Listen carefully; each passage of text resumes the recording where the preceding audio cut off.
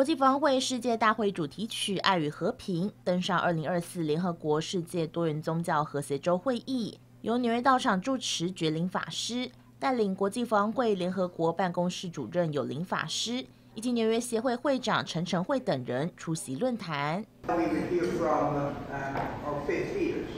各宗教以及民间团体齐聚，倡导和平对世界的重要性。有林法师代表国际防会。在论坛中分享星云大师处世无怨之道，强调人生最大的无名就是怨尤，勉励大众学习如何处世无怨。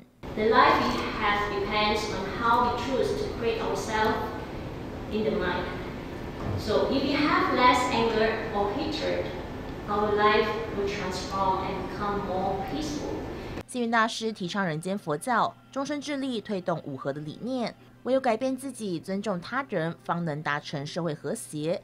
这样的精神，希望传递给更多人，借由各团体互相交流，未来持续为和平挹注力量，带动社会美好和谐。这位是美国纽约综合报道。